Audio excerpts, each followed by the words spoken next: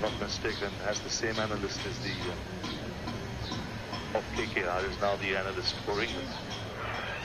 So he would know.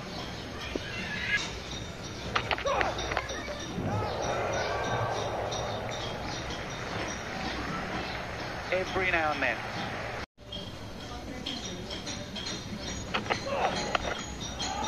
That's in the air, straight to mid-wicket.